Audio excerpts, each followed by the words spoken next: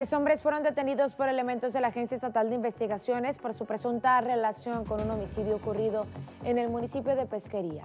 A José Eusebio, de 23 años, Luis Eduardo, de 27 y Adolfo N, de 37, se les atribuyen los delitos de homicidio calificado y homicidio calificado en grado de tentativa.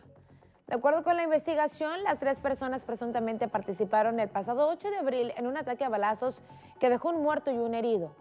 Por ello, los detenidos se encuentran internados en el Centro de Reinserción Social número 1.